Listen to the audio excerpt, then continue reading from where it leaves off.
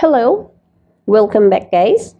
Today we are talking about on how to ask a discount on seller in Shopee. This is a very quick and easy guys, so all you need to do is just to watch this video until the end. So to start, on our screen we can see here the Shopee app.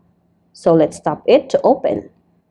So once we open our Shopee, we can see here our homepage where a lot of different items appeared on the screen. So when we're going to ask a discount on seller, of course, we must have an item first. So we can see the items here on the categories or on the daily discovery.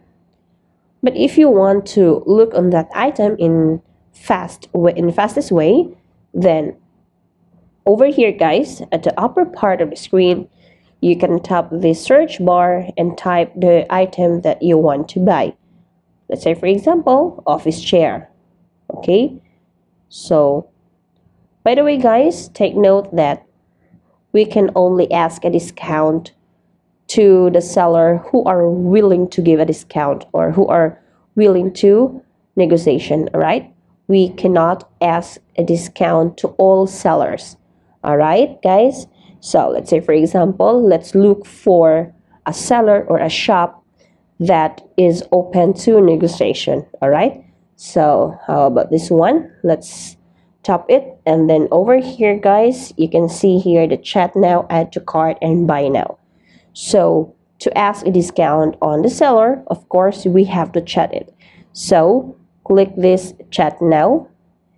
And then as you can see, guys, there is a word over here make offer and buy now. So here in make offer guys this is where we can ask a discount to seller. All right so let's stop this one. So meaning this shop or seller is ready for or open for negotiation and then we are looking for it. If that seller will approve our negotiation all right so let this one premium chair and the original price is 979 and let's okay make an offer of 950 let's look if that seller will approve and then click make an offer. All right so there you go guys. This is on how to ask a discount on seller in Shopee. So if you want to know on how to ask a discount on seller in Shopee that's the easiest way I know and if you know another way on how to ask a discount on seller, just leave a comment below and be sure to subscribe for more videos. Bye guys!